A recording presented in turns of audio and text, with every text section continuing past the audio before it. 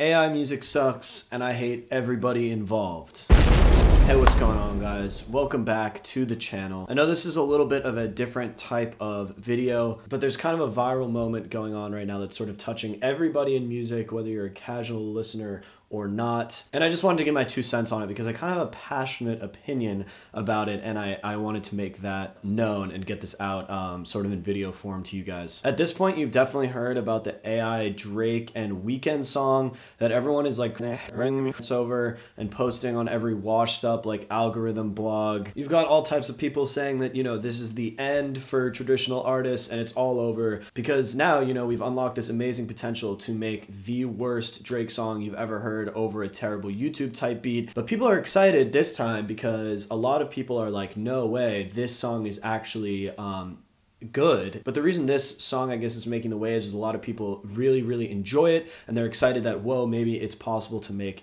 you know good songs using this AI instead of just sort of silly meme compilations. You're getting all these kinds of articles. You know, this one's from Vice. Viral AI generated Drake song by Ghostwriter has millions of listens. Is it a watershed for AI generated music, a PR stunt, or something else? It's something else, and the other thing that it is is horrible. Obviously, I'm getting a bit ahead of myself, revealing kind of what my opinion on this whole thing is. But I've got a lot to say about the whole AI thing, and I think we should just dive in um, with the the best thing we can do to describe kind of this song, which is just listen to it and talk about it.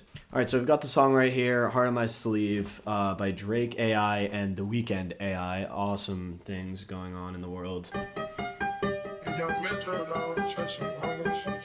Okay, so what you've got right here um, is a beat. I don't know if the beat was produced um, by AI. It definitely sounds like it was. But you've basically got um, this this it doesn't even sound like a stock GarageBand preset. It actually sounds more like an iPhone recording of like one of those toy pianos or a piano in like the bottom of the church basement that the creator of this like snuck away from Boy Scouts or something to record playing three ascending notes, which is like the first thing you do when you open FL Studio. You tap in all the hi-hats on every two and you literally click do do do do do do do. It's just shockingly disrespectful to Metro Boomin to put his tag over this horrific YouTube type beat. You've literally got the most amateurish, the most terrible sounding, out of key 808, horrible beat, and you're you're putting another person's name on it, which to me feels even different from the Drake and Weeknd thing because it's completely unnecessary to just attach another producer's name to this. It's just gross. But obviously, we're only three seconds in, so Drake AI and Weeknd AI haven't actually started singing yet. So let's see if they have anything interesting to say. I came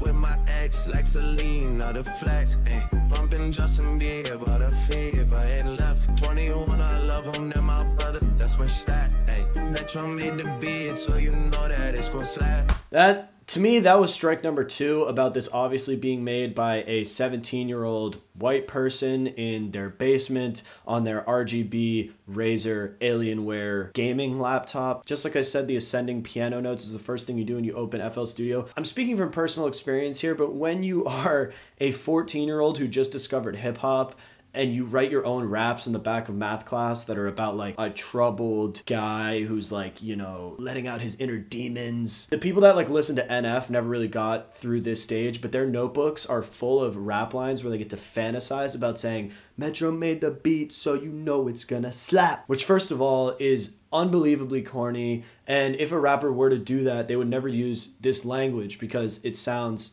god awful.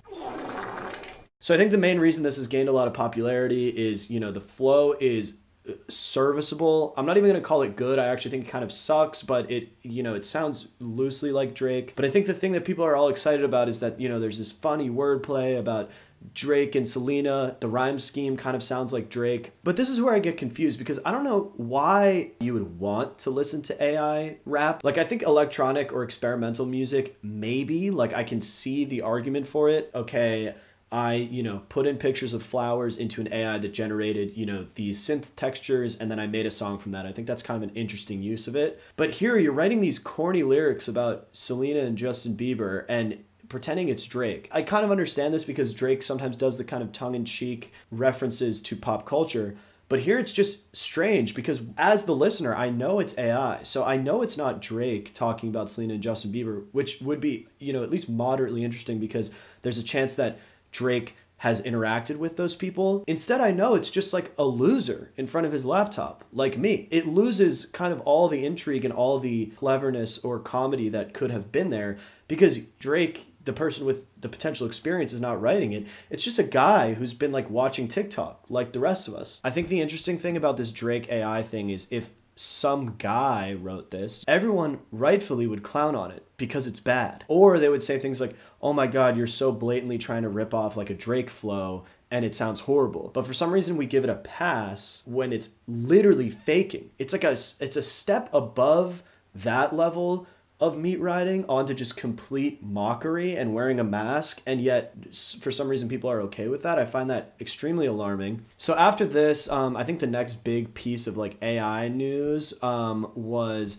Grimes saying that she's willing to let people use her voice for AI um, as long as there's 50% split royalties. So, aside from the fact that I already said that I, I don't understand why you would use someone's voice, automatically knowing it's not that person to me makes the subject matter completely uninteresting. And then also, then it's like, why didn't you just write the song? And I think the same problem is here with this Grimes thing. I don't understand why you would want to listen to fake Grimes when it's probably just going to be a less well written song just with Grimes' voice on it. If you like listening to Grimes' voice, just listen to Grimes. If you want to listen to bad pop music, trust me, there there are thousands and thousands of people writing bad versions of Grimes songs. You can just go listen to them. And while I think artists' voices are obviously important, I don't think it necessarily makes up for terrible songwriting. But of course, people were quick to jump on this so you got this guy at Arab K24 who made a Grimes cover of a Weeknd song with her voice. And, you know, maybe I'll get proved wrong and this is really good and this is worth it. And Grimes is setting a really good standard.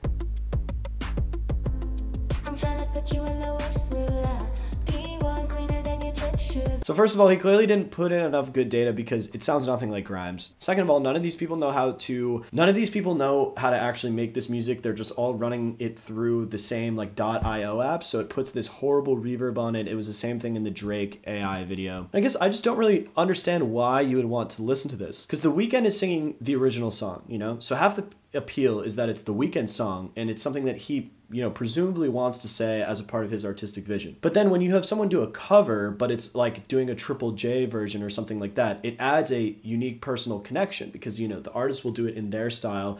And then you as a listener can assume that wow grimes must love this Weeknd song in a way that I love it. And then that adds kind of some weight to them doing a cover. It adds some type of connection to the song, same way that you can have. And then you might assume there's a connection between these artists. That makes it very exciting. But what this is, is just literally a British version of a singer that you like input into a song that you like, and it has absolutely no connection. So it's the same as if your friend just did bad karaoke. It's the exact same thing. And you would never listen to that. So why in the world would you listen to this? And the comments is is just full of grifters and losers with blue checks. Yo, dude, this is so cool. Dope rocket emojis. Sick bro. It literally reads like a linkedin post instead of like an artistic piece on twitter. You even have grimes coming in. I feel like this just proves the Weeknd is iconic. Haha i am not competing with him here. Yeah because it's not you. It sucks. Even she is realizing it sucks and she had to backpedal by posting tweets saying hey just so you know please don't write songs where i'm saying I'm having sex with animals and stuff. Obviously, that was a whole can of worms I didn't even think of initially. But it actually goes even further than this. This, I would say, is the most horrifying um, example of this. Got this tweet from Underground Sound. An AI song consisting of Juice WRLD dissing his controversial partner Ally Lotti has surfaced. I'm actually not going to play this one. Uh, seek it out if you want, but I think that this one is just absolutely terrible. This, I mean, just this sentence says it all. AI Juice WRLD dissing his controversial partner. Controversial to who?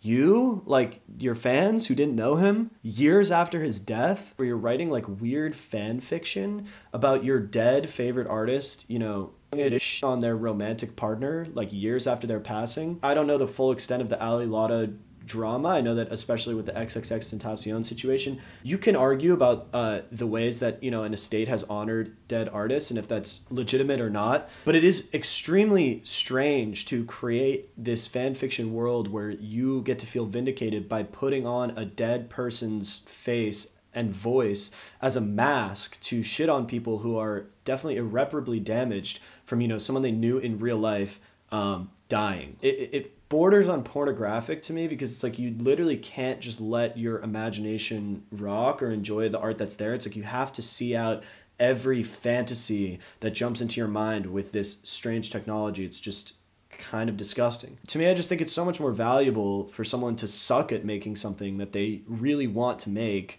um, and are passionate about than it is to hide behind a more talented and successful person's likeness and shit all over them by making a demonic technological homunculus version of them saying awful YouTube type beat rap comments tier lyrics. It's terrible and it needs to stop. Another really terrible development, I'm sure you guys have all seen this. Um, this guy who did the Kendrick Lamar AI voice filter, this one is. Uh, my voice without the Kendrick Lamar AI voice filter, and.